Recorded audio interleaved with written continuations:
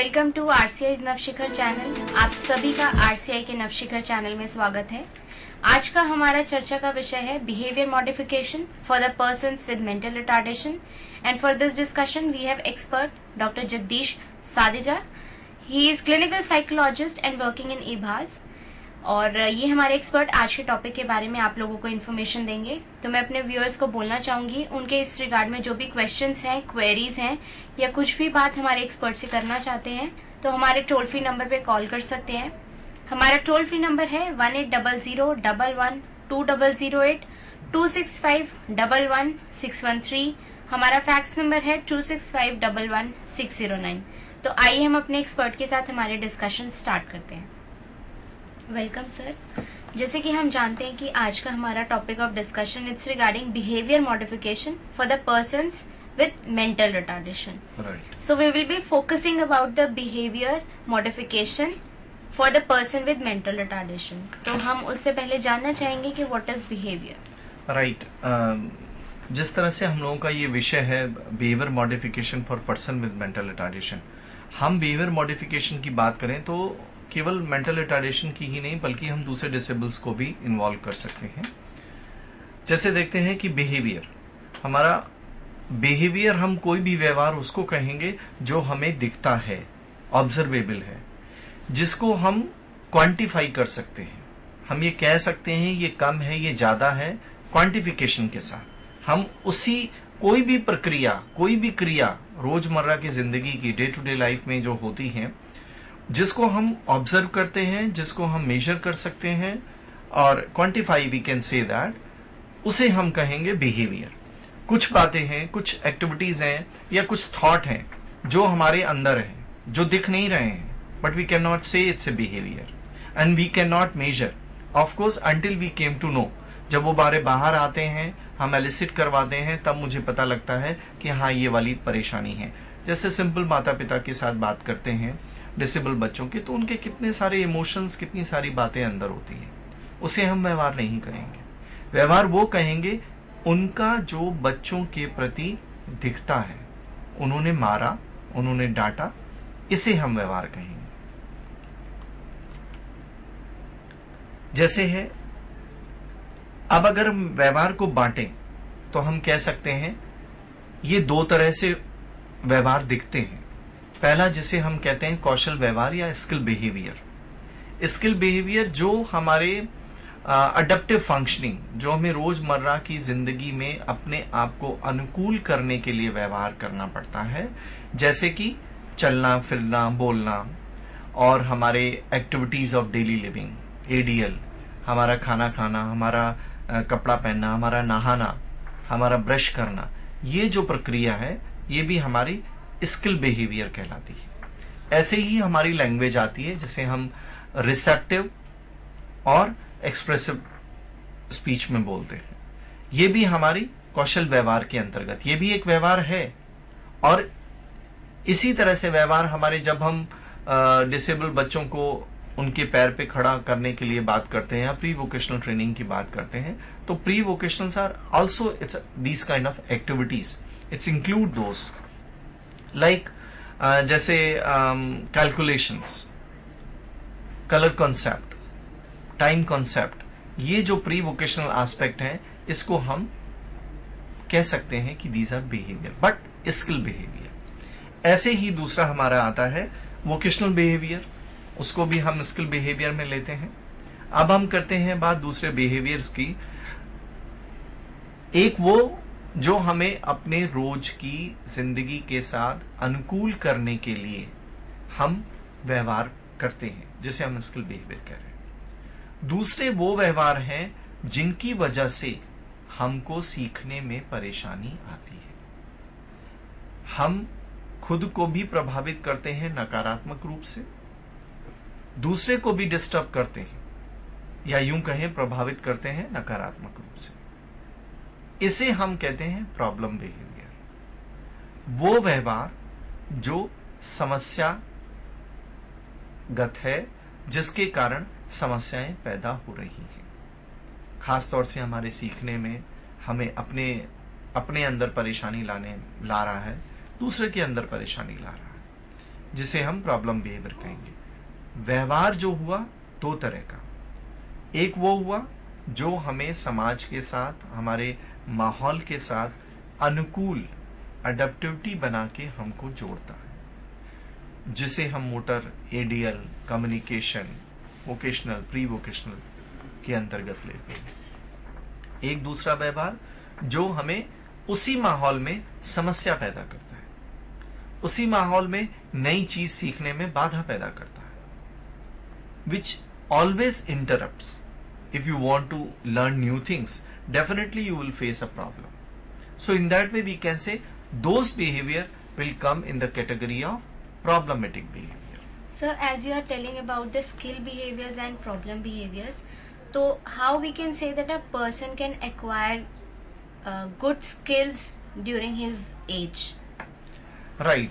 So far as age or acquire of skill is concerned, all is depends on the environment where they are getting and what the problems.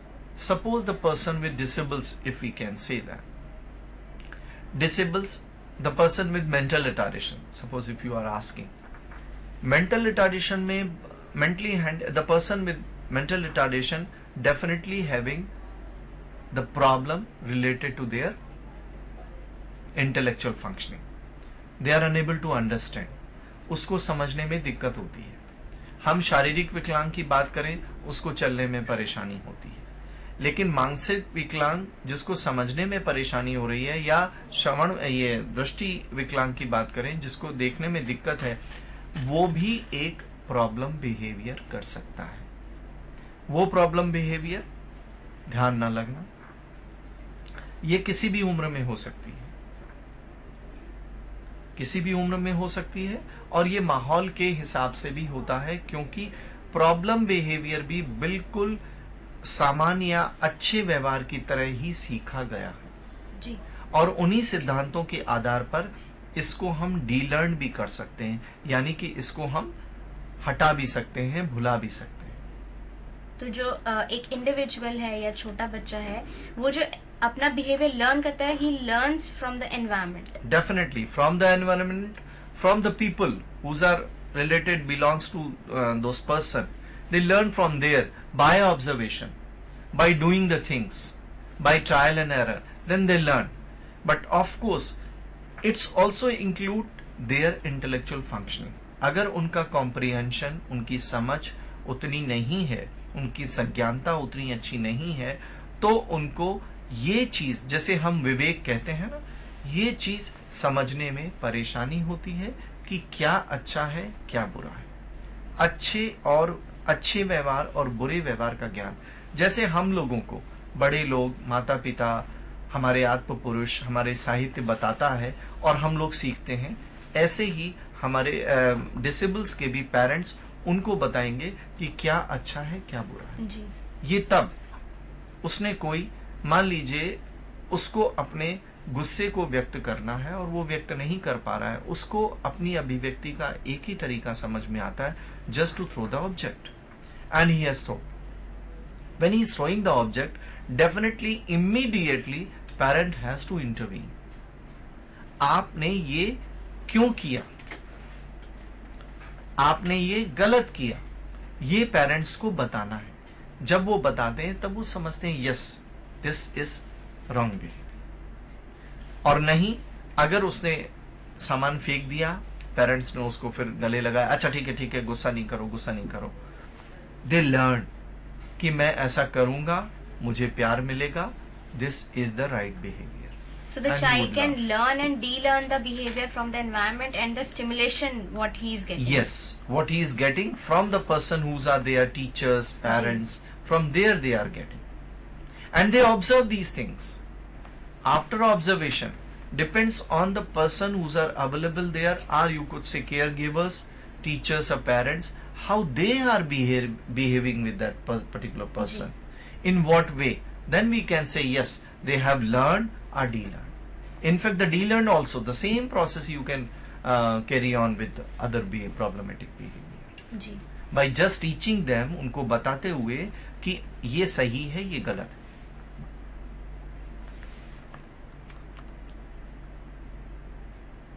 Behaviour modification, ये modification हमेशा ही आता है। इसको अगर हम दूसरे उसमें कहें तो हम व्यवहार सुधार की बात कहेंगे। व्यवहार सुधारना मतलब व्यवहार जो सीखा गया है, जो गलत है, उसको हम कैसे ठीक करें? उसको ठीक करना, उसको करेक्ट करना ही व्यवहार सुधार कहलाता है। इट्स मॉडिफिकेशन बिहेवियर मॉडिफिकेशन इसमें बिहेवियर मॉडिफिकेशन में कई सारी टेक्निक्स होती हैं, जिनका इस्तेमाल करते हैं। और वो जो तकनीकी होती हैं, वो हमारे सीखे हुए जो सिद्धांत, जिनके द्वारा हम सीखते हैं किसी भी बात को, उन सिद्धांतों पर आधारित होती है। Those techniques definitely the things as I said what we are doing, we have learned we have learned there are some learning principles that is based on conditioning classical conditioning operant conditioning इन सिद्धांतों की बात अभी करेंगे उन्हीं सिद्धांतों के आधार पर ही हम कोई व्यवहार सीखते हैं ये जो तकनीक हम लोग इस्तेमाल करते हैं प्रॉब्लमेटिक बिहेवियर के लिए ये किसी अनपेक्षित व्यवहार, जो कि लोगों को नहीं पसंद आ रहा है, समाज को पसंद नहीं आ रहा है, या उस व्यक्ति के लिए, खुद के लिए हानिकारक है, उस व्यवहार को, अनपेक्षित व्यवहार को कम कैसे करना है? या अपेक्षित व्यवहार, जो अच्छा व्यवहार है, जो उसको सीखने में सहयोग देता है, जो उसके लिए समस्या पैदा नहीं करता है, उस व्यवहार को, उसको कैसे बढ़ाना है?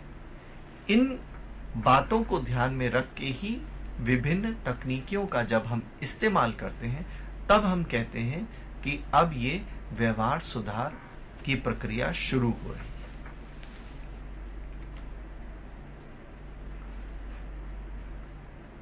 एक बात आती है बिहेवियर थेरेपी और बिहेवियर मॉडिफिकेशन कई बार बीच बीच में बात आ जाती है।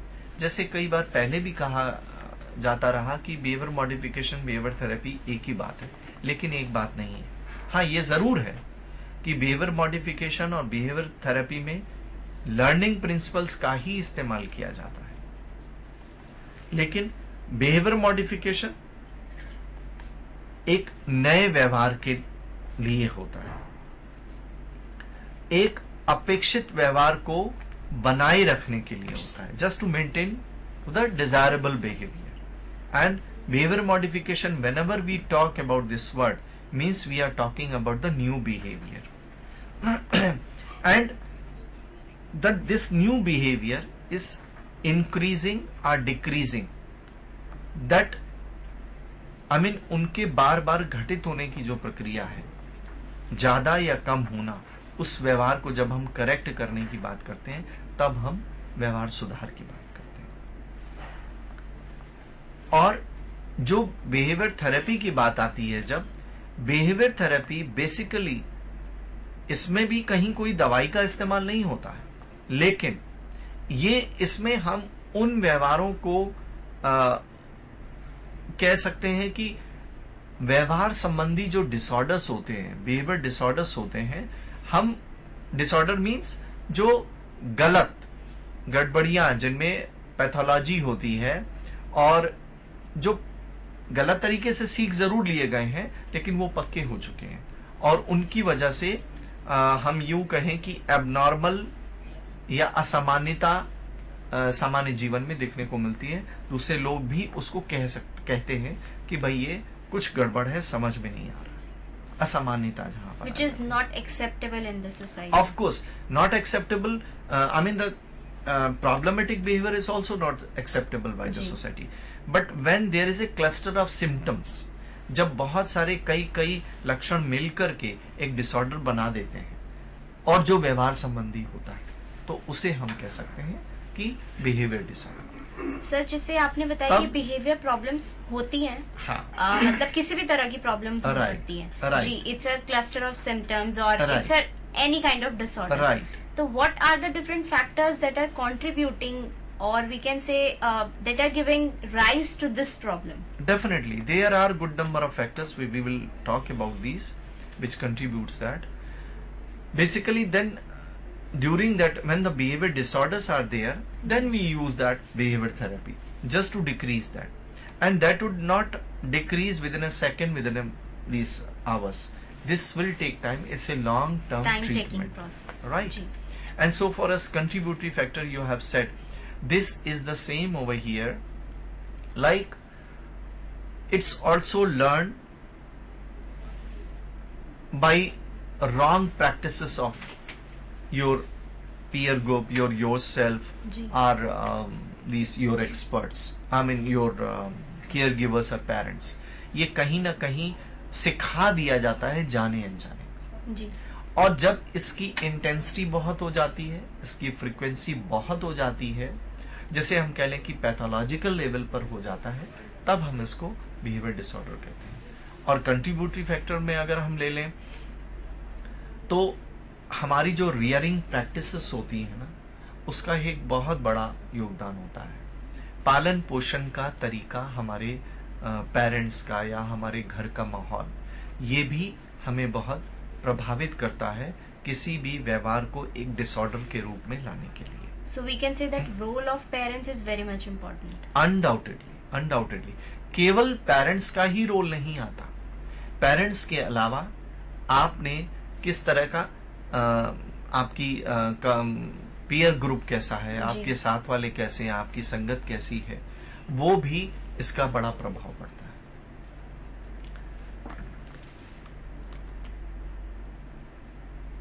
नेक्स्ट हम ने ये तो ज़रूर कहा कि जो व्यवहार अपने लिए परेशानी देते हैं, दूसरों को परेशानी देते हैं, वो एक समस्यागत व्यवहार होते हैं। लेकिन कुछ इनकी विशेषताएँ हैं जिसे हम कह सकते हैं कि ये प्रॉब्लम बिहेवियर है। जैसे वो व्यवहार जो बार बार किया जाता केवल एक बार किया गया या चार बार कर लिया गया तो हमने कह दिया प्रॉब्लम बिहेवियर है। जैसे पेरेंट्स यूजुअली आते हैं कहते हैं आ, उन्होंने कहीं नेट से पढ़ा या कहीं किसी से सुन लिया तो आके बोलते हैं डॉक्टर साहब हमारा बच्चा बहुत ही बिहेवियर प्रॉब्लम्स बहुत है उसमें। ठीक है अच्छा क्या समस्याएँ हैं? जिद बहुत करता है। अच्छा भाई उम्र कितनी है? अभी तो तीन साल है। जिद कैसे कह सकते हो आप जिद करता है? बस हमें ये चीज़ चाहिए तो चाहिए। अच्छा ठीक है, नहीं मिली तो क्या होगा? नहीं मिलती है तो लेट जाता है। अच्छा ठीक। और क्या करता है? नहीं मिलती है तो खूब तेज तेज रोने लगता है। ऐसा कभी कभी करता है कि हमेशा करता है। नहीं, जैसे करता है, मुझे बहुत परेशानी होती है। आपको परेशानी होती है, सबको होती है। नहीं, और तो किसी ने ऐसा नहीं कहा, मुझे बहुत दिक्कत होती है। मुझे बहुत परेशान हो जाते हैं जब ये जिद करता है। कहीं भी शॉपिंग पे ले जाओ, वहाँ जाके ये शोर मचाता है और लेट जाएगा। अच्छा ऐसा कभी कभी हुआ कि ज़्यादातर होता है? नहीं, ज़्यादातर तो नहीं होता है कभी कभी होता है, लेकिन अच्छा नहीं लगता।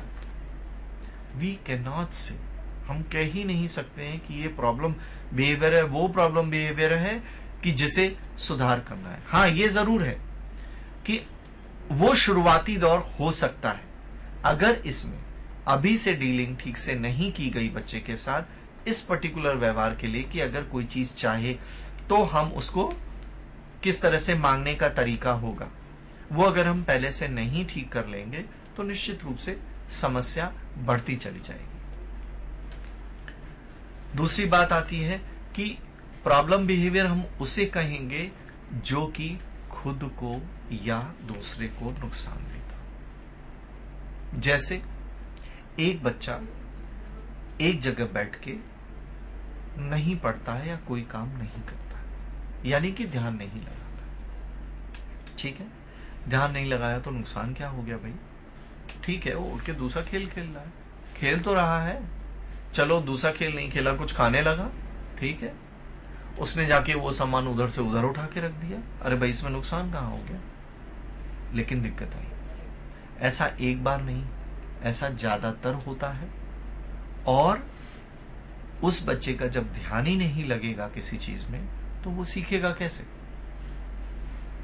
पक्की बात, जब सीखेगा नहीं, नुकसान किसका है? उसका खुद का ये भी ठीक बात है कि उसने ध्यान नहीं लगाया, पढ़ाई में या किसी एक एक्टिविटी में, दूसरी एक्टिविटी जाके करने लगा, दूसरी छोड़ के तीसरी करने लगा। एक्टिविटी ज़रूर कर रहा है, लेकिन उसने ये नहीं सीखा है कि मैं ध्यान लगा के पहले एक एक्टिविटी को दिल से पूरा करना है। जब हम पूरा कर लेंगे, तब हमें दूसरी एक्टिविटी करनी है। जब कंसंट्रेशन अटेंशन हुआ कंसंट्रेशन नहीं ध्यान लगने की प्रक्रिया नहीं शुरुआती ध्यान गया कि हम ये काम करें, लेकिन बाद में कंटिन्यू नहीं कर पाए। ये समस्या उसकी खुद के लिए पैदा हो जाती है, क्योंकि वो नई चीज़ नहीं सीख सर जैसे आपने बताया कि एक प्रॉब्लम बिहेवियर होता है उसके कुछ कैरेक्टरिस्टिक्स होते हैं जिससे हम आइडेंटिफाई कर सकते हैं कि the child is having some kind of behaviour problem but with consistency ऐसा नहीं है कि बच्चे में उस कैरेक्टरिस्टिक्स uh, की कंसिस्टेंसी नहीं है कभी कभी शो करते हैं तो हम उसको नाम दे दे प्रॉब्लम बिहेवियर का। और इसके बारे में हमने एग्ज़ाम्पल से देखा कि हमारे एक्सपर्ट ने बताया कि किस तरीके से एक बच्चा प्रॉब्लम बिहेवियर शो कर सकता है कैसे बातें करता है किस तरह से शो करता है। इसके बारे में हम बाकी की डिटेल्स एक छोटे से ब्रेक के बाद डिस्कस करेंगे। This is time for a short break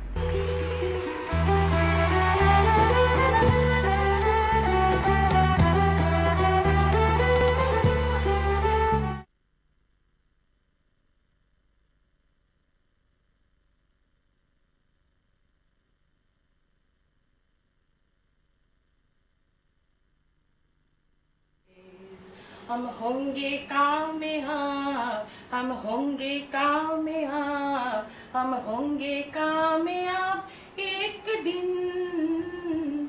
ओ मन में है विश्वास पूरा है विश्वास। हम होंगे काम आप एक दिन। We shall overcome, we shall overcome, we shall overcome someday. Oh, deep in my heart, I do believe that we shall overcome someday. We shall overcome someday. We shall overcome someday.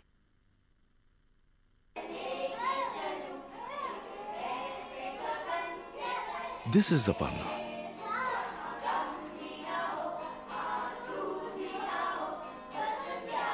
She loves chess and Shah Rukh Khan. Her best friend is Swati.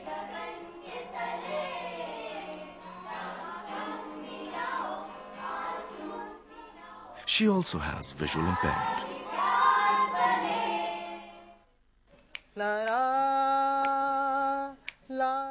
This is Neeraj.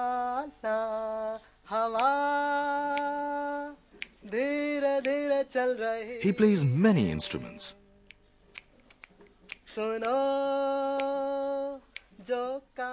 He loves Mohammad Rafi and cricket.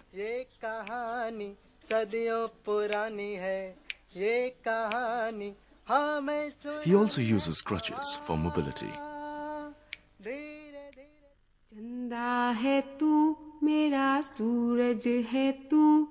This is Raj Bala. है तू? जीती हूँ मैं बस तुझे देख कर। With husband and daughter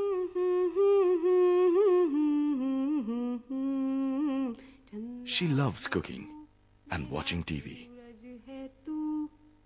आ मेरी आँखों का तारा है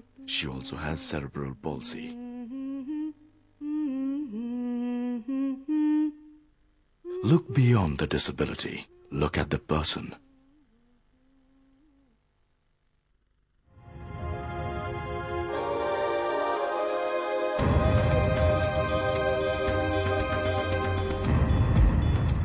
Welcome back to our discussion break में जाने से पहले हमने डिस्कस किए कुछ aspects regarding behaviour modification and their characteristics characteristics of the problem behaviour in a child so we will continue that with our expert Sir जैसे हमने बात करी थी कैरेक्टरिस्टिक्स ऑफ़ प्रॉब्लम बिहेवियर उसमें आपने एक कैरेक्टरिस्टिक बताया था इंटरफेयर्स विद लर्निंग जैसे कि बच्चा की कंसंट्रेशन से काम नहीं कर रहा है या इनकम्प्लीट uh, छोड़ देता है अपने टास्क को।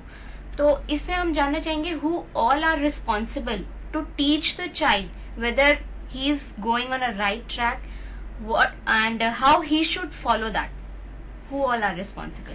See that so far as attention and concentration is concerned there are good number of factor especially not only in the classroom setup as well as at home also आज सिर्फ़ हमारे disable बच्चों की बात ना करें हम नॉर्मल बच्चों की भी अगर बात करें तो डिस्ट्रैक्टेबिलिटी के इतने सारे फैक्टर्स हैं कि उनका ध्यान इधर उधर बटी जाता है क्लास अगर खिड़की के पास बैठे हैं तो उनका ध्यान बाहर जाएगा ही क्योंकि वो मूवमेंट्स हो रहे हैं ठीक है या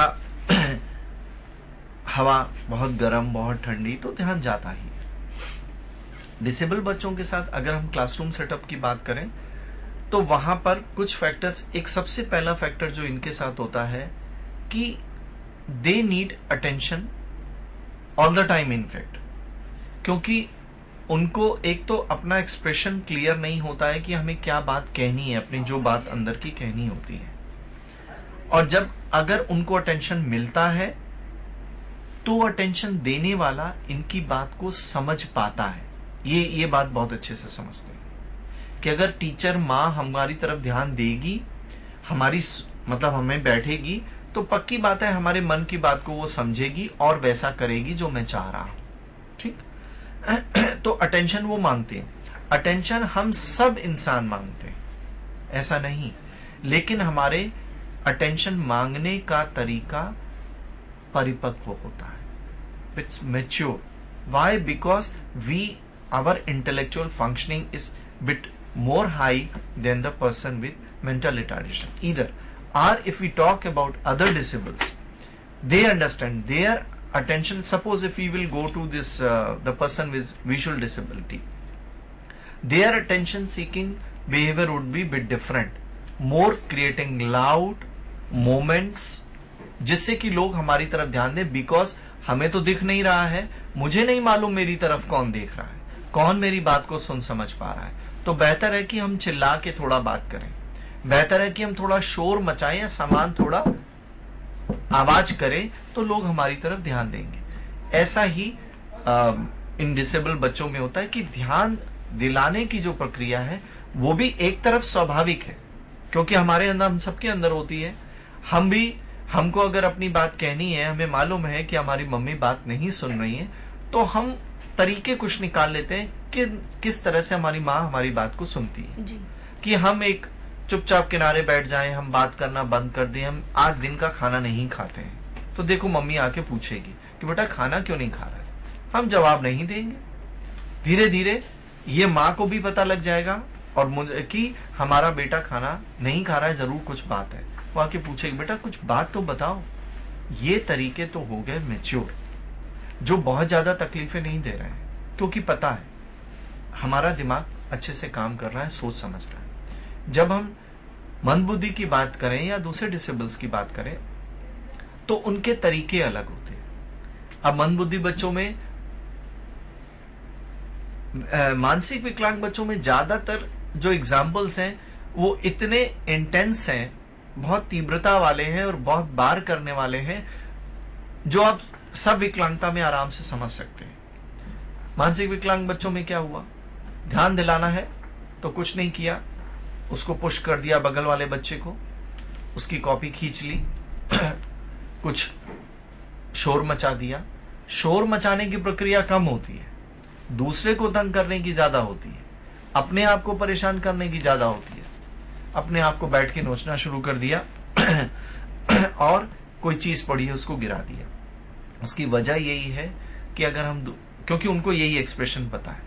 दूसरा एक चीज़ और है कि उनका ये जो एक्सप्रेशन होता है, दूसरे को तंग करने का, कई बार वो उनकी अभिव्यक्ति होती है कि you talk with me you come and be my friend which they are unable to express so through this gesture they express उसको समझना होता है। क्लासरूम सेटअप कई एक्टिविटीज़ इंटरेस्टिंग नहीं है। वो बच्चे के साथ पेरेंट्स की एक्सपेक्टेशंस के हिसाब से या टीचर की एक्सपेक्टेशंस के हिसाब से, आज उनको ये कैलकुलेशन करानी करानी है सिंपल सिंगल डिजिट वाली। बच्चे का मूड नहीं, बच्चे को समझ में नहीं आ रहा है। वो ये नहीं कह पा रहा है कि मुझे समझ में नहीं आ रहा है। टीचर भी इस बात को नहीं समझ पा रही है कि इसे नहीं समझ में आ रहा है। टीचर एक बात जानती है कि मैंने पढ़ाया है तो उसको पढ़ना चाहिए। उसका मन नहीं है, उसको समझ में नहीं आ रहा है तो वो कहाँ जाएगा? वो कुछ नहीं कह सकता। क्यों? क्योंकि teacher is the authority figure. उसके आगे वो कुछ बोल ही नहीं सकता। बोलेगा तो डांट पड़ेगी या मार पड़ेगी। जो कि वैसे भी घर जाते हैं तो मम्मी पापा भी मारते डांटते हैं कि तू पढ़ता नहीं, पढ़ने में वीक है, तेरा भाई तो अच्छा है, तू, तेरे को तो कुछ नहीं आता। ये चीज़ें बच्चे बहुत अच्छे से समझते हैं और उसमें फिर वो अपना अटेंशन सीकिंग बिहेवियर ले आते हैं। देखा गया है प्रोफेशनल्स भी ऐसा करते हैं कि उनको बहुत, अगर उनका काम नहीं पूरा हो रहा है टीचर का या दूसरे प्रोफेशनल्स जो एक्सपेक्ट करते हैं कि उनके प्रोग्राम के हिसाब से MR um, person with mental retardation he should work like that. If he is not doing they very easily blame them. It's attention seeking behavior. Are no.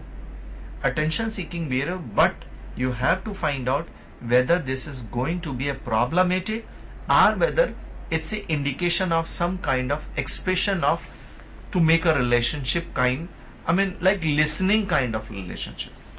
You have to think about many times So we have to rule out what kind of behavior the person is. showing. Exactly तभी वही बात आ रही है कि अगर अ, ये अ, जो contributory factor की बात कर रहे हैं हम एक क्लासरूम सेटअप पे हो गया इंटरेस्टिंग पढ़ाई नहीं है या टीचर का पढ़ाने का तरीका सही नहीं है या टीचर अपने आप में उस बच्चे के आगे एक बहुत ही अ, डरावना वाला फिगर बन गया है, जिससे डर लगता है तो निश्चित रूप से बच्चा उतना अच्छा परफॉर्म नहीं करेगा। घर पे बात आती है every child every human being wants affiliation वो जुड़ के, आपके साथ आप जुड़ना चाहता है। वो अपने आप को एस्टेब्लिश करना चाहता है, आपके सामने, अपने सोसाइटी के सामने। क्या उसको कभी आप चांस देते हो? चाहे हम नॉर्मल की बात करें या डिसेबल की बात करें। घर पे ज़्यादातर प्रॉब्लम्स बच्चे की अगर अटेंशन सीकिंग की आती है, एक सबसे बड़ी आती है, वो चाहता है एफिलिएशन फैमिली मेंबर्स के साथ और जो गेस्ट आ रहे हैं उनके साथ। अपने लिमिटेड एक्सप्रेशन और इंटेलेक्चुअल फंक्शनिंग के साथ। लेकिन वो कई बार पेरेंट्स सिबलिंग्स नहीं समझ पाते हैं और उसको चांस ही नहीं दे पाते हैं कि वो एफिलिएट कर सके स्ट्रेंजर्स के साथ या गेस्ट के साथ। उस चीज़ को चाहत में वो डिफरेंट काइंड की एक्टिविटी शुरू कर देता है। जिस समय मेहमान आएँगे उसी समय इसका रोना शुरू हो जाएगा।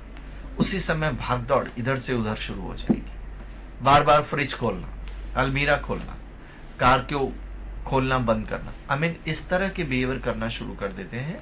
ताकि पेरेंट्स अपनी अपने आप इंपॉर्टेंस उस चीज़ की इंपॉर्टेंस समझे जो ये कर रहा है। फ्रिज खोलना मतलब फ्रिज इज़ मोर इंपॉर्टेंट चलो फ्रिज को डिस्टर्ब करते हैं। Parents will come to the fridge refrigerator and we will I mean I will get the attention her child का अपना एक बिहेवियर होता है एक वे ऑफ़ एक्सप्रेशन होता है Right. जिससे वो शो करते हैं। एग्जैक्टली और पेरेंट्स को ये समझना बहुत ज़रूरी है कि व्हाट द चाइल्ड वांट्स और उसकी क्या ज़रूरत है वह कैसा एक्सप्रेस करना चाहता है। तो सर, इसमें कहीं ना कहीं ये भी हो सकता है कि पेरेंट्स अपनी रिस्पॉन्सिबिलिटी ठीक से नहीं पूरी कर रहे हैं, या कहीं उनकी ऐसी गलती हो रही है कि वो बच्चे को नहीं समझ पा रहे हैं। इस बात पे हम एक बात ज़रूर कहेंगे, हम हमेशा पेरेंट्स को ब्लेम ना करें तो बहुत बढ़िया।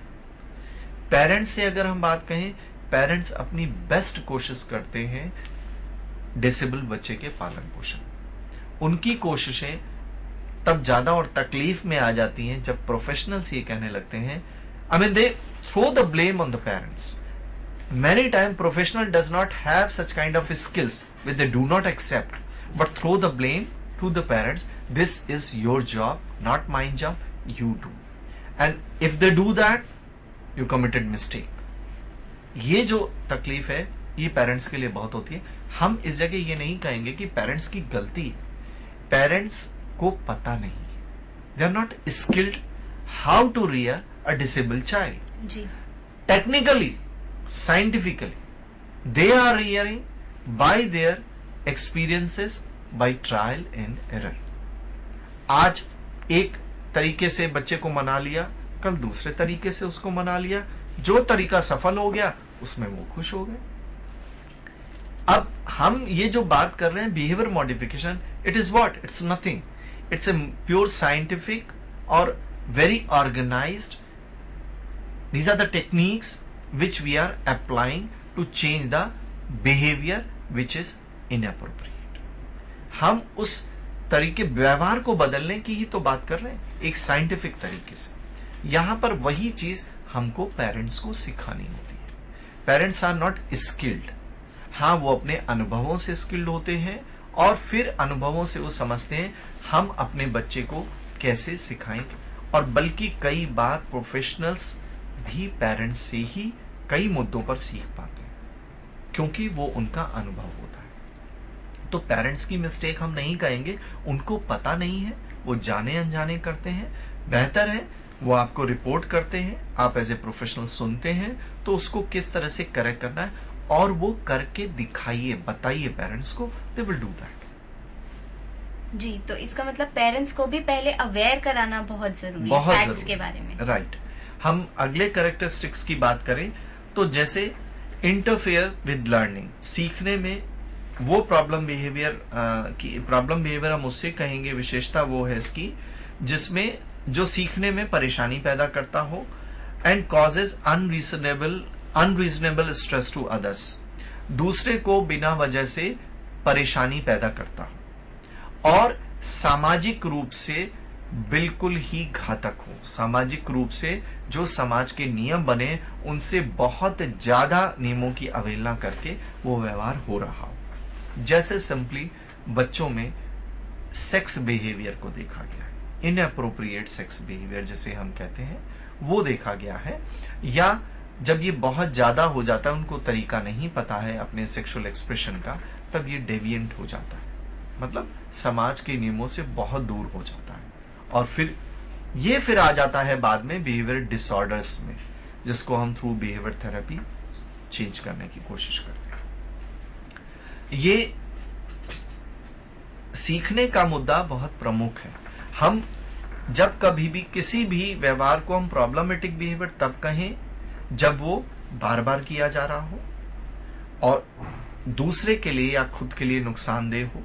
दूसरे को बहुत परेशानी पैदा कर रहा हो बिना वजह से जिसका कोई कारण नहीं है लेकिन वो व्यवहार ऐसा हो रहा है जिसकी वजह से परेशानी पैदा हो रही है। और सामाजिक रूप से पूरी तरह से आ, मतलब नियमों के प्रतिकूल जाकर वो काम हो रहा और दूसरा सीखने में बाधा पैदा कर रहा हूँ। जब ये सारी विशेषताएँ हम देखें कि किसी व्यवहार में हैं तब हम कहें कि ये व्यवहार प्रॉब्लमेटिक व्यवहार है। उसके पहले हम किसी भी व्यवहार को, मान लीजिए, ठीक है, बच्चे ने महीने, दो महीने में एक बार कभी ऐसा कर दिया कि दूसरे को मारा। या एक बच्चा है, जैसे मैंने उदाहरण दिया कि बगल में बैठा है सीट में, मार देता है। अब कभी कदार किया तो ठीक है। समझ सकते हैं, कोई कारण रहा होगा जानने, समझने की कोशिश करनी। अगर ये चीज़ ज़्यादातर हो रही है और आप देख रहे हैं कि उसके खुद के सीखने में और दूसरे के बच्चे के सीखने में परेशानी पैदा कर रही है तब हम कह सकते हैं कि हाँ ये problematic behaviour so these are the characteristics of the problem behaviour the child is showing Right. Sir, at times we have seen that the child is showing the problem behavior in particular situation only. Right. तो उस case में हम कैसे कर सकते हैं? मतलब identify कर सकते हैं। मान लीजिए सिर्फ़ क्लासरूम सेटिंग में ही बच्चा प्रॉब्लम बिहेवियर शो करता है। हाँ। घर में ऐसा नहीं शो करता। राइट ये बहुत ही बहुत ही उम्दा प्रश्न है और बहुत ही व्यवहारिक प्रश्न है जो कि ज़्यादातर देखने में आता है। पेरेंट्स की कंप्लेन ही होती है अपने टीचर से या प्रोफेशनल से कि ये बच्चा एक जगह टिक कर नहीं बैठ रहा ये घर में ही होता है। स्कूल में आप लोग कहते हैं बैठ के सीख रहा है पढ़ रहा है। हमें कैसे पता लगे? तो उसका तरीका होता है कि भाई वो विंडो जो बनी होती है ग्लास विंडोज़ वहाँ से पेरेंट्स को दिखाया जाता है क्लासरूम में कि किस तरह से काम कर रहा है। पेरेंट्स कई बार इतने स्तब्ध हो जाते हैं कि ये कैसे कर रहा है, घर में तो करता ही नहीं है। इधर भागना, उधर भागना, ऐसा क्यों? अच्छा इस वजह से कई बार पेरेंट्स और प्रोफेशनल के बीच में बहुत ही एक जो रिलेशनशिप हेल्दी होना चाहिए, वो नहीं बन पाता है क्योंकि पेरेंट्स टीचर्स को ब्लेम करते हैं टीचर्स पेरेंट्स को ब्लेम करते हैं मुद्दा ये नहीं समझते हैं कि ऐसा भी हो सकता है this could be possible a child can perform a same behaviour at home and same problem behaviour not at classroom setting. That could be possible 100%. यहाँ का जो ये जो प्रश्न है ये बिल्कुल आपके वो पहले वाले प्रश्न से कविता जी रिलेटेड है जो आपने एक बात पूछी थी कौन से कंट्रीब्यूटरी फैक्टर हैं जो। उसके प्रॉब्लमेटिक बिहेवियर को बढ़ाते हैं या घटाते हैं? सेम यहाँ वही बात है कि कहीं ना कहीं कोई फैक्टर्स ऐसे इन्वॉल्व हैं अगर घर में ये बच्चा काम नहीं कर रहा है तो वो कारण घर में ही कहीं है। और बच्चा काम कर रहा है क्लासरूम सेटअप पे। कारण क्लासरूम में भी है, लेकिन उन कारणों को कंट्रोल कर लिया गया है। और जो घर में कर रहा है तो घर में वो कारणों को कंट्रोल नहीं किया गया या पहचाना ही नहीं गया है।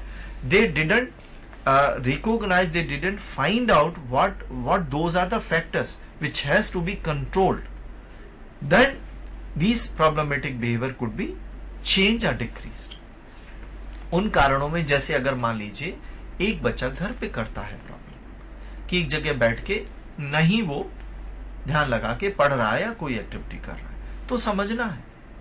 क्या जिस समय वो पढ़ रहा है या जिस समय कोई एक्टिविटी कर रहा है दूसरे ध्यान बटाने वाले काम ज़्यादा होते हैं? उसके मनपसंद का गाना चल गया। बाहर से लाउड स्पीकर की आवाज़ आ गई। सा, साथ के ही रूम में आप ड्राइंग रूम में ही बैठ के पढ़ा रहे हैं और ड्राइंग रूम में ही दूसरे गेस्ट भी आ गए। दूसरे लोग भी बातें कर रहे हैं। या ब्रदर और वो सारे सिप्स जो हैं, वो टेलीफोनिक टॉक हो रही है टीवी चल रहा है, ये डिस्ट्रैक्टिंग फैक्टर है। जिस समय पढ़ने बैठा, हो सकता है उसको मम्मी से, पापा से उतना अच्छा रिलेशनशिप नहीं बन पाया। डरता है, दूर भागता है। उस समय हो सकता है कि अब माँ से डरता है, उसको पता है मम्मी मारेंगी, पढ़ाने की बात करती हैं। और जब मम्मी ने बैठाने की कोशिश की किताब लेके तो उसका इधर उधर भागना शुरू हो गया। क्योंकि माँ ने तरीका नहीं सीखा कि उसको कैसे पढ़ाना है। स्पेशल एजुकेशन के मेथड से, जो कि स्कूल में सिखाया जा रहा है। टीचर समझ रही है हमें इस बच्चे को ए लिखना कैसे सिखाना है, या उसका नाम लिखना कैसे सिखाना है। अगर वो कभी जिद करता है, नहीं सी, लिख रहा है तो उसको डांटना मारना नहीं है। दूसरे प्ले वे मेथड में सिखाना शुरू कर दिया। उसको अप्रिशिएट करना।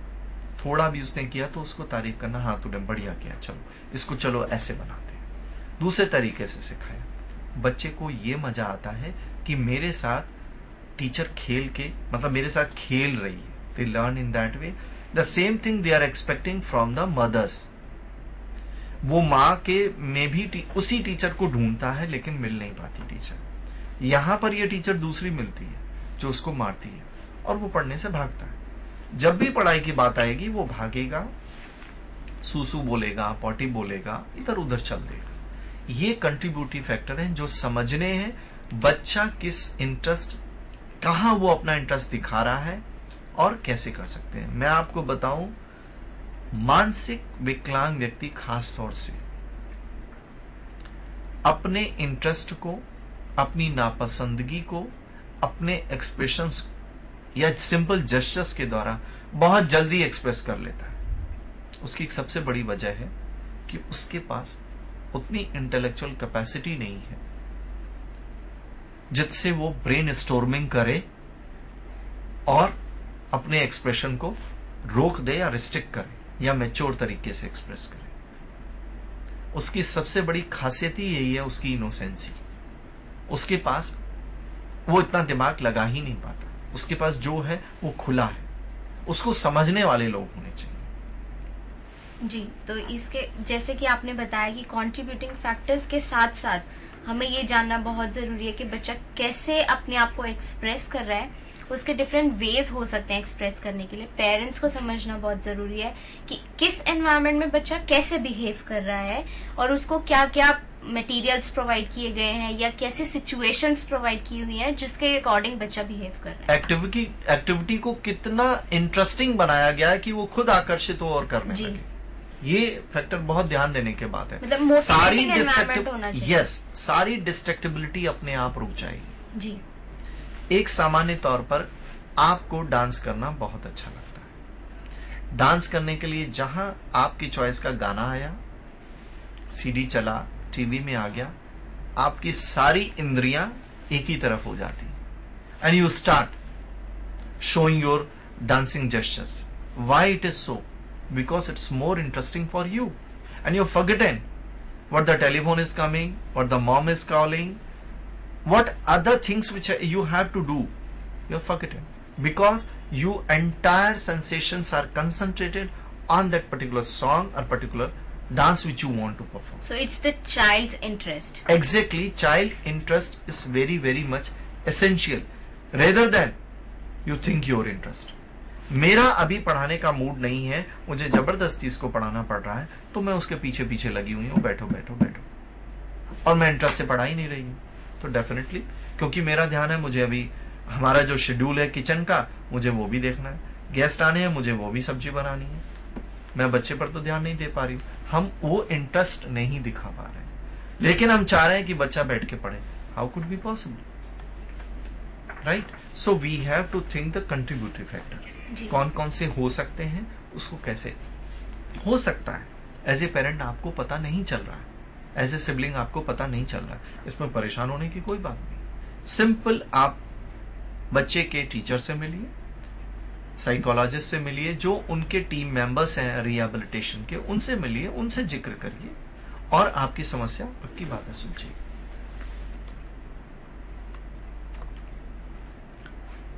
नेक्स्ट हम कहते हैं प्रॉब्लम बिहेवियर तो है, बहुत सारे होते हैं।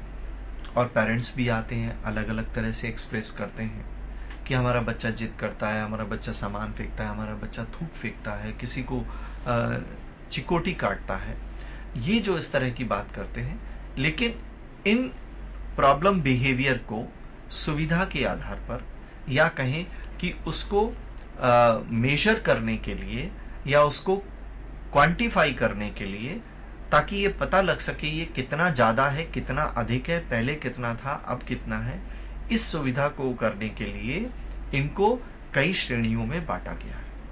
वो श्रेणियाँ हैं जैसे वायलेंट एंड डिस्ट्रक्टिव बहुत ही उग्र व्यवहार जो होते हैं और ध्यान बटाने वाले। Temper tantrum misbehaviour with others self injurious repetitive odd odd behaviors, overactivity, rebellious, antisocial fears ये वो व्यवहार है, वो कैटेगरीज है, जिसमें कि प्रॉब्लम बिहेवियर को बांटा गया है, इनके अंतर्गत रखा गया वायलेंट बिहेवियर हम और डिस्ट्रक्टिव बिहेवियर उससे कहेंगे, जिसमें बच्चा बहुत उग्र रूप से अपना प्रॉब्लम बिहेवियर प्रदर्शित करता है।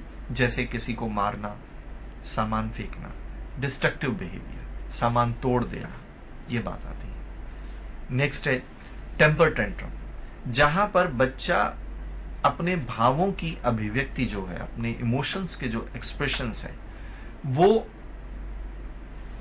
आवाज़ें निकाल के हाथ पैर हिलाकर इस तरह से टेम्पर जो है ना उसका जो अम, कहना चाहिए कि जो भाव है उसको वो प्रकट इस तरह से करता है कि विच इज़ नॉट एक्सेप्टेबल जो कहीं स्वीकार नहीं। जैसे मैंने बताया था लेट गए ज़मीन पे चिल्लाने लगे ज़ोर ज़ोर से किसी भी बात पर। न अब कोई चीज़ नहीं अच्छी लग रही तो चीख रहे हैं चिल्ला रहे हैं।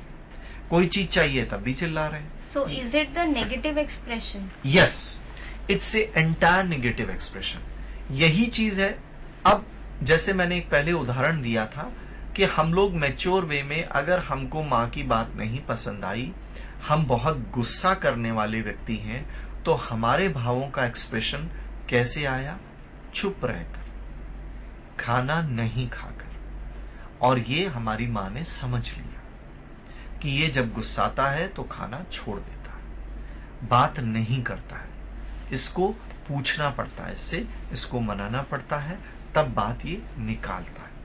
सेम ये बात इन बच्चों में अगर हम देखें, या मंदबुद्धि व्यक्ति में, या दूसरे डिसेबल्स में भी देखें तो होता यह है कि उनका जो एक्सप्रेशन है, उनको नहीं पता ये निगेटिव है कि पॉजिटिव है। उनको ये पता है कि अगर मैं ऐसे करूँगा तो मेरा काम हो जाएगा, मेरी बात मान ली जाएगी। शुरुआती दौर में जब उन्होंने ये चीज़ नहीं सीखी थी कि मेरे चिल्लाने से काम हो जाएगा शुरुआती दौर में उन्होंने ऐसा किया। ये एक ऑब्वियस स्पॉन्टेनियस एक नेचुरल एक्सप्रेशन आया कि हमें नहीं अच्छी लगी, हमने ज़ोर से चिल्ला दिया। मुझे नहीं पता कि ये सिचुएशन चिल्लाने के लिए ठीक है कि नहीं। मैंने चिल्ला दिया। अब यहाँ से मामला शुरू होता है कि ये व्यवहार प्रॉब्लम बिहेवियर बनेगा या नहीं।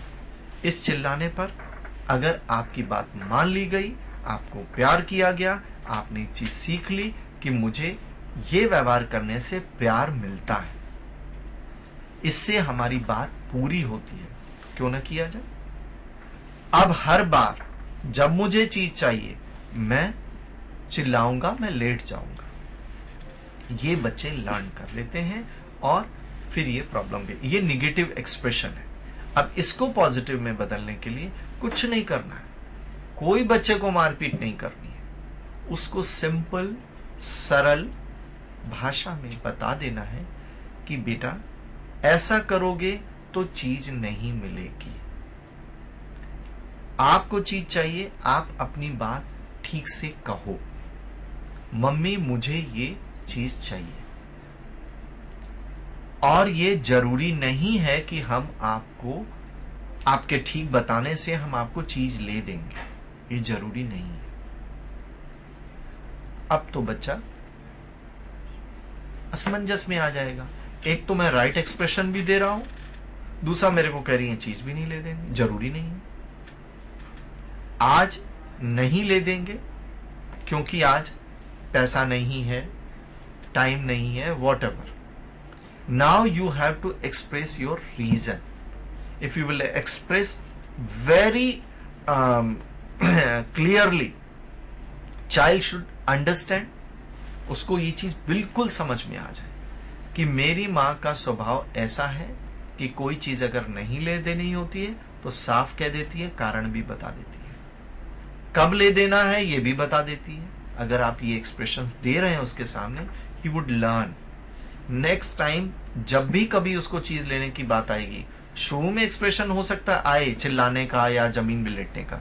धीरे से वो समझ जाएगा और वो अपने एक्सप्रेशन को रोक कर क्लियरली आपसे भले गुस्से में कही मेरे को ये चीज़ चाहिए आपको ले देनी पड़ेगी। हो सकता है वो ऐसे एक्सप्रेस करे। फिर इसको करेक्ट कर दीजिए। Sir, as you are explaining, will this strategy will work for the person with mental retardation?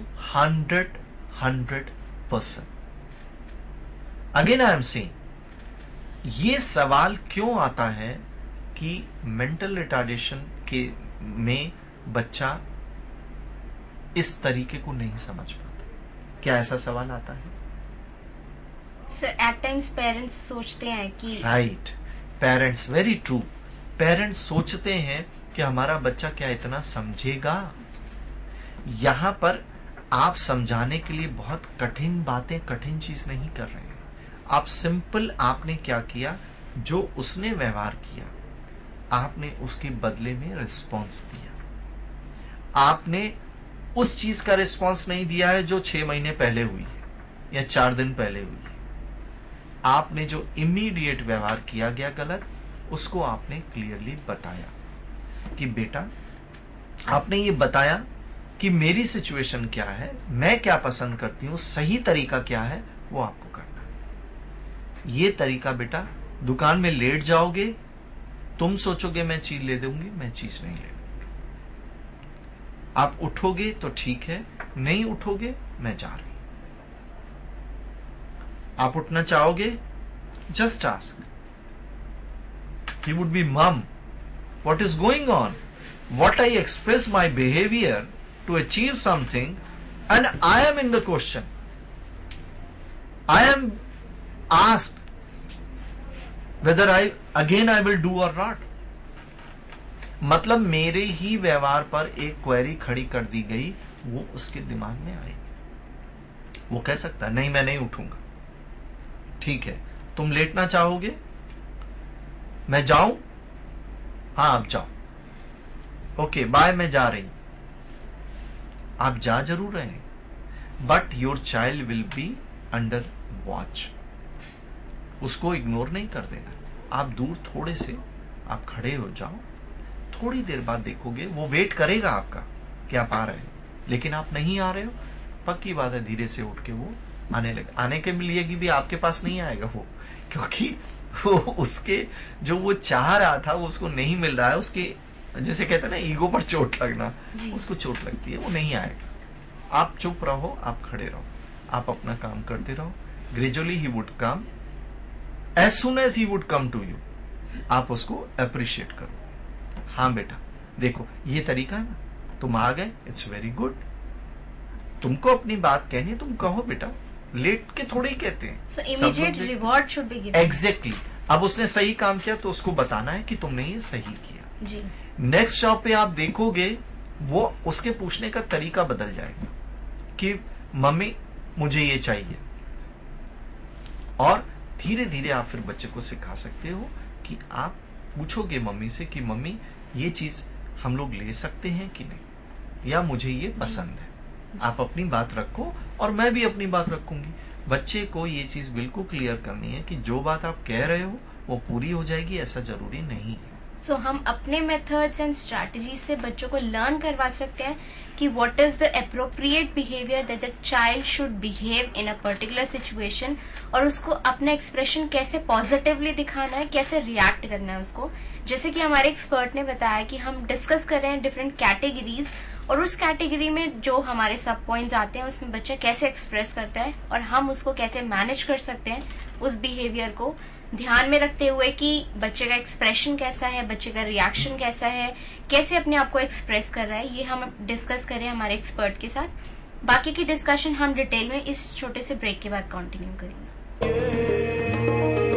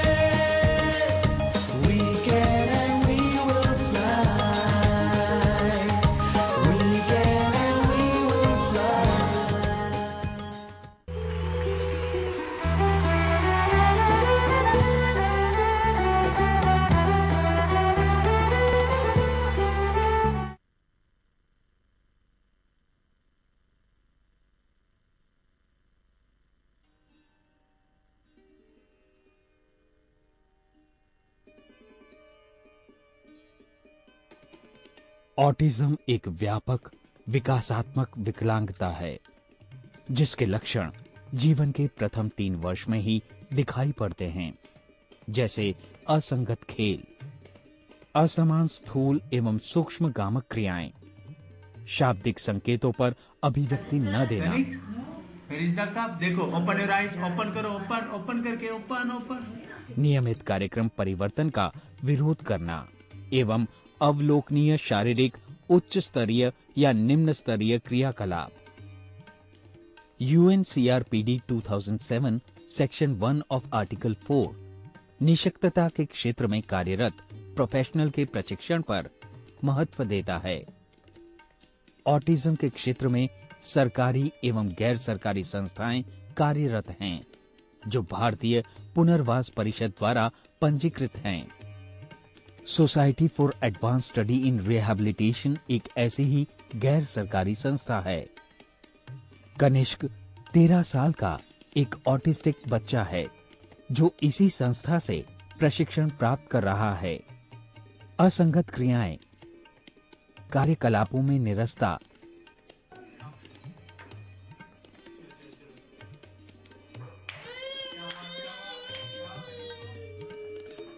असमान, स्थूल एवं सूक्ष्म गामक क्रियाएँ जैसे बॉडी रॉकिंग और फिंगर रिगलिंग उसमें देखी जा सकती है। उसे मैचिंग और पेस्टिंग पॉइंटिंग जैसी क्रियाएँ सिखाई जाती हैं। Very good glass glass glass very cup को टच करो जल्दी से। कप को? The cup very good cup में क्या करता है कनिष्क टी पीता है। चलो glass where is the glass चलो बाउल की तरह बाउल बाउल जल्दी से टच करो बाउल को। वेरी गुड बाउल में क्या करता है कनिष्क तथा साथ ही साथ रोज़मर्रा की आवश्यकताएँ, जैसे खाना, पीना, कपड़े पहनना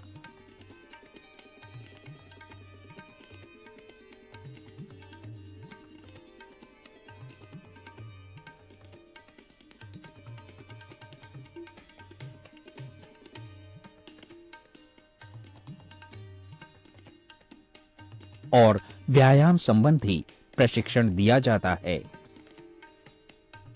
ऑटिस्टिक बच्चों को भिन्न भिन्न प्रकार की कार्यविधियाँ उनके स्तर के अनुसार सिखाई जाती हैं, जैसे कुछ बच्चों के लिए colouring with in one area matching and identification fine motor skills eye hand coordination concept of vegetables, fruits, body parts, colours पर ज़ोर दिया जाता है तथा कुछ को प्रश्न पढ़ के उत्तर देने में और रोज़मर्रा की आवश्यकताओं को पूरा करने में सक्षम बनाया जाता है।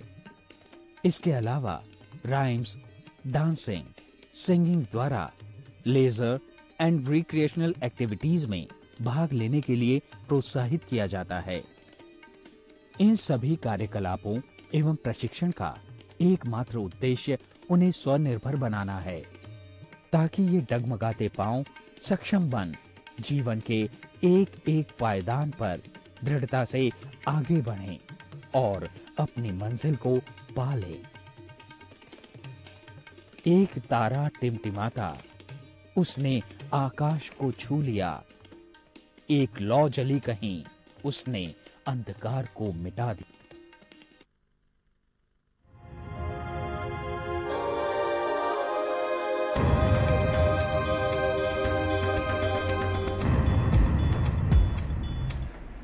Welcome back to our discussion अभी तक हमने डिस्कस करे कैटेगरीज कैरेक्टरिस्टिक्स और हम बात कर रहे थे विद एग्जाम्पल्स कि किस तरीके से डिफरेंट कैटेगरीज में बच्चे बिहेवियर शो करते हैं और उसको हम कैसे मैनेज कर सकते हैं with the learning in the proper situations और पेरेंट्स को किन किन बातों का ध्यान रखना चाहिए ये हमारे एक्सपर्ट बता रहे तो आइए इस डिस्कशन को कंटिन्यू करते हैं। राइट नेक्स्ट कैटेगरी की जो बात हम कर रहे हैं, वो है मिसबिहेवियर विद अदर्स जब बच्चा किसी दूसरे के साथ मिसबिहेव करता है। यहाँ भी वही बात आती है। ये एक अपने आप में एक्सप्रेशन का तरीका शुरुआती दौर पर होता है। लेकिन अगर इसको करेक्ट ना किया जाए तो ये मिसबिहेवियर हो जाता है। सेल्फ इंजीरियस बिहेवियर इसमें बहुत ज़्यादा बच्चे ग्रसित होते हैं। खास तौर से प्रोफाउंड लेवल के या सीवियर लेवल के बच्चे। उनको ये पता नहीं होता है कि ये उनको खुद को नुकसान दे रहे हैं। तो सेल्फ इंजीरियस बिहेवियर जो कि खुद को नुकसान देने वाले बिहेवियर होते हैं, जैसे अपने आप को नोचना, अपने बालों को खींचना। ठीक? और कोई शार्पन चीज़ का इस्तेमाल करना अपने बॉडी के अगेंस्ट तो ये सेल्फ इंजीरियस बिहेवियर उनको पता नहीं होता है। जहाँ तक पेन की भी बात है, कई बच्चे पेन का एक्सप्रेशन नहीं होता है। कि हमें पेन हो रहा है, हम कैसे एक्सप्रेस करें? धीरे धीरे उस दर्द के प्रति वो संवेदनहीन हो जाते हैं। यूँ कह लें कि वो डिसेंसिटाइज हो जाते हैं कि मुझे पेन भी है। तो पता नहीं चल पाता। जब खून निकलता है तो पेरेंट्स बताते हैं कि ये देखा खून है, ये अपने आप को बहुत नोचता है। एक ही जगह अपने आप को काटना, एक जगह में ही घाव हो जाता है। ये सेल्फ इंजीरियस बिहेवियर है। ये वास्तव में कई बार मृत्यु तक ले जाता है। कारण ये, घाव का अगर ध्यान पूरी तरह से नहीं दिया गया इन्फेक्शन हो जाता है बच्चे का कोई एक्सप्रेशंस नहीं होते हैं और धीरे धीरे वो जो है इन्फेक्शन इतना बढ़ जाता है, उसको कंट्रोल करना मुश्किल हो जाता है। ये चीज़ देखने की है। ऐसे ही सिंपल वो जब सेक्स बिहेवियर की बात हम करते हैं कि जो सेल्फ स्टिमुलेशन होता है, वहाँ भी कई इतने आघात हो जाते हैं, बच्चे को नहीं पता लगते हैं और पेरेंट्स भी उन जगहों की साफ़ सफ़ाई उतना ध्यान नहीं दे पाते हैं कई बार तो वो घाव इन्फेक्शन बढ़ा देते हैं और वो बहुत तकलीफ़ दे होता है। Self injurious behaviour problematic behaviour जिसको हम लोग जब व्यवहार सुधार की प्रक्रिया होती है, जब हम शेड्यूल बनाते हैं प्रायोरिटी बनाते हैं तो सेल्फ इंजीरियस बिहेवियर को हम फ़र्स्ट प्रायोरिटी पे देने की कोशिश करते हैं। क्योंकि ये उसको खुद को नुकसान पहुँचा रहा है। दूसरा है रिपीटेटिव कोई वो व्यवहार जो बार बार बार बार बार बार कर रहा है। एक तो ये व्यवहार सुधार के विशेषता में भी है कि जो व्यवहार बार बार करे।